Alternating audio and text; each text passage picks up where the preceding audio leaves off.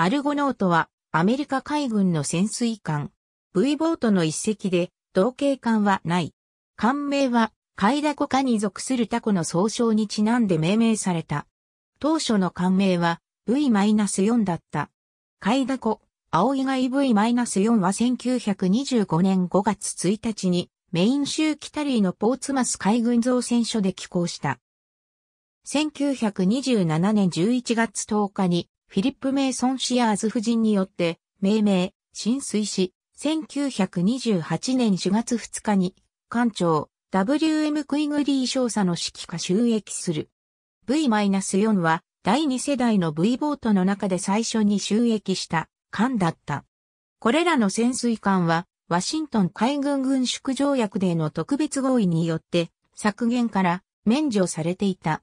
V-4 及び姉妹艦の V-5、V-6 は失敗作と判明した初期の V ボートに比べて大型化し、強力なマンディーゼルエンジンを搭載するよう設計された。しかし特別に設計されたエンジンは要求された出力を発生できず、危険なクランクシャフト爆発をもたらした。V-4 とその姉妹艦は、先行が遅く、水中では操縦が困難で設計よりも低速だった。さらに、水上艦のソナーに対して、格好の標的となり、回転半径も大きかった。V-4 は、第一次世界大戦時の巡洋潜水艦タイプ U ボート U142 型の艦隊に機雷不設潜水艦 U117 型の機雷不設機構を組み合わせて設置したような型の機雷不設艦として設計され、費用として615万ドルが投じられた。V-4 はアメリカ海軍において、そのような目的で設計された最初かつ唯一の実験艦だった。艦は前方に魚雷発射艦4門、後方に機雷不設塔2門を装備していた。V-4 は建造当時世界最大の潜水艦であり、1959年に原子力潜水艦トライトンが収益するまでは、約30年もの間、アメリカ海軍が保有した最大の潜水艦であった。V-4 の機雷不設塔は内径が40インチあり、艦尾方向に向かって耐圧角を貫通するように両舷に装備された。これは巧妙かつ複雑な機構であり、乗組員の評判は良くなかった。不設塔には同時に4個の機雷が装填でき、両舷合わせて8個の機雷を同時に10分間で不設することが可能だった。不設塔搭載部以外の機雷は、船体後部の耐圧角区画内を横隔壁で仕切って格納してあった。また、一連の機雷不設機構には水圧が用いられた。格納スペースと不設塔は密接に連結されており、機雷はポンプ形式によるラックによって不設塔の中に移され、完備の開口部から投下して不設するという方式になっていた。機雷を不設すると、機雷の分の重さが減って、缶の重量バランスが不均衡になる。これを防ぐために、缶中央部を通して、機雷8個分と同等重量の水を溜めておく、補正タンクが装備されており、不設塔に入り込んだ海水は、保水タンクを経て、補正タンクに溜めるようにできていた。補正タンクはまた、不設中の事故のためのバックアップにもなっており、搭載機雷すべての重量分に対応したタンクも、機雷格納スペースの下部に装備されていた。V-4 は収益後、ロードアイランド州、ニューポートで第12潜水艦隊に所属した。1929年1月及び2月に V-4 はマサチューセッツ州プロビンスタウンで一連の公見を行う。この間に行われた潜水光味では318フィートの深さまで先行した。この記録は当時最新の記録だった。1929年2月26日に V-4 は第20潜水艦隊に配属され、新たな母港のカリフォルニア州サンディエゴに3月23日到着する。ここで V-4 は6度の戦闘訓練を行い、西海岸沿いに巡航した。V-4 は1931年2月19日にアルゴノートと改名され、7月1日に SM-1 に艦種変更される。1932年6月30日にアルゴノートは真珠湾に到着し、第7潜水艦隊に配属された。アルゴノートは、機雷敷設、偵察任務、その他の定期的な任務に従事した。1934年10月及び1939年5月に、アルゴノートは、ハワイ作戦海域で行われた海軍と陸軍の合同演習に参加した。1939年中頃には、第4潜水艦隊の旗艦となる。アルゴノートは1941年4月に西海岸に帰還し、艦隊戦術訓練に参加した。1941年11月28日、スティーブン・ G・バーチェット艦長指揮下のアルゴノートは、真珠湾を出港。ミッドウェイ島付近を偵察し、日本軍による真珠湾攻撃時には、ミッドウェイ島沖を巡航中だった。12月7日の日没後、浮上したアルゴノートは、ミッドウェイ島付近での砲撃音を聞く。それは、日本軍上陸部隊によるものと考えられた。アルゴノートは潜航し、ソナーで侵攻部隊の動向を探った。アルゴノートは攻撃型潜水艦ではなく、機雷敷設艦として設計されたが、敵部隊に対する最初の戦時アプローチを行った。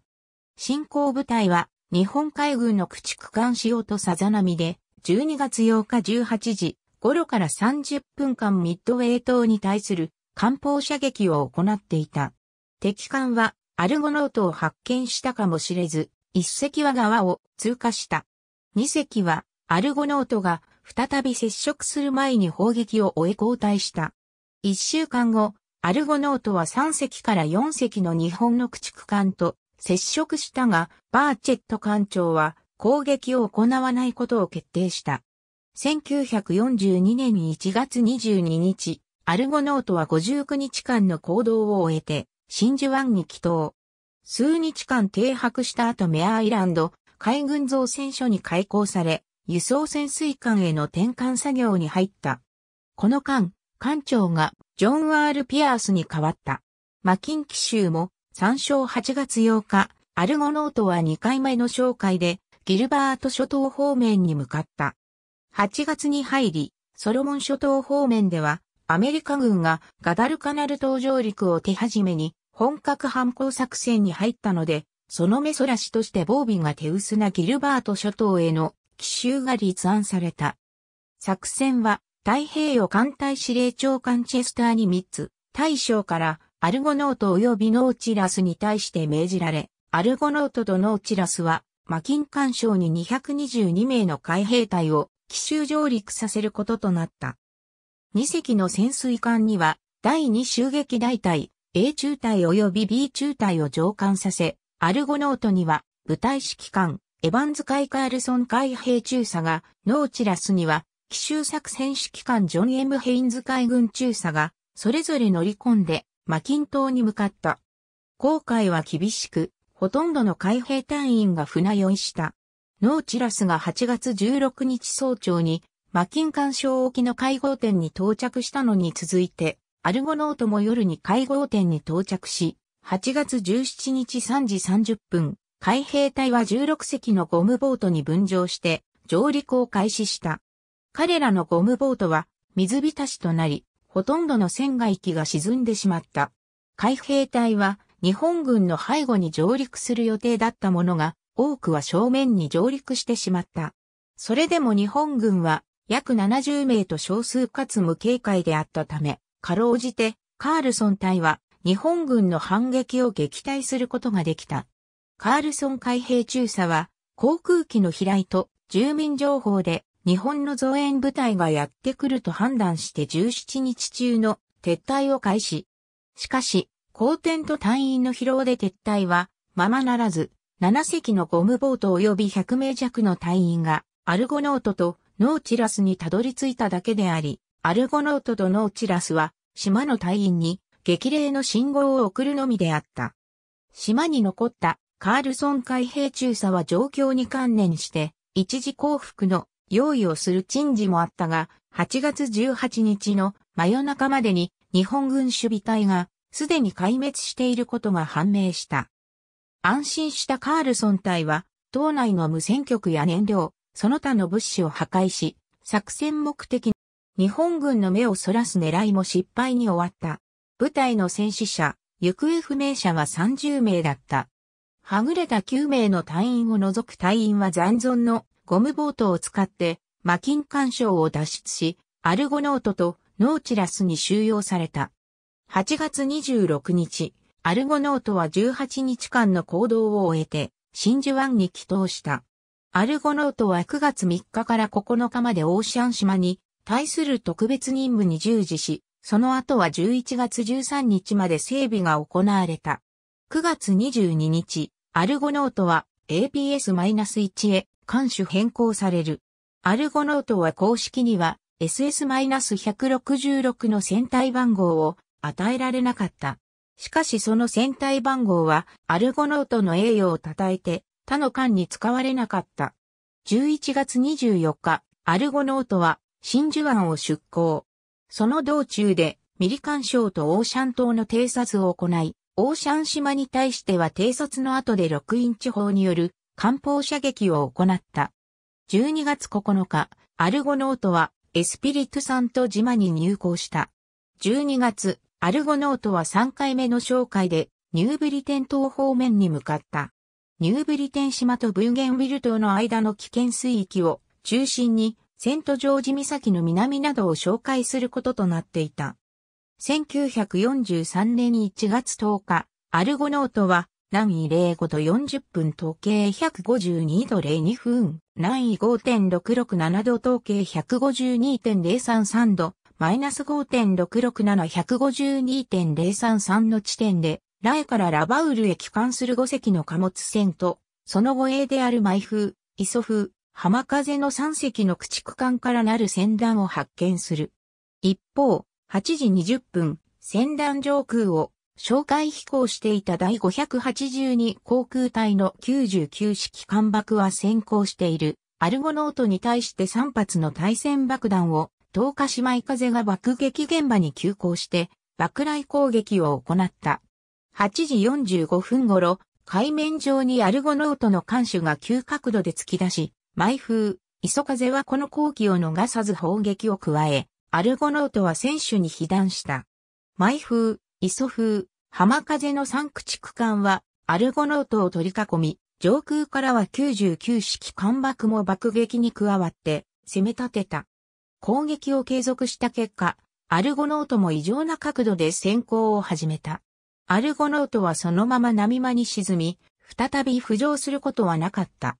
ピアース艦長以下105名の乗組員がアルゴノートと運命を共にした。アルゴノートの戦闘を目撃した陸軍機クルーからの報告書では、アルゴノートは最後の哨戒で日本軍駆逐艦に損傷を与えたと記録される。その記録では、爆撃帰りで偶然付近を飛行していた陸軍機がアルゴノートが戦乱に攻撃を行う現場を目撃しており、一隻の駆逐艦に魚雷が命中するのを目撃し、駆逐艦は速やかに反撃したと記録された。アルゴノートは第二次世界大戦の先行で2個の従軍聖賞を受賞した。ありがとうございます。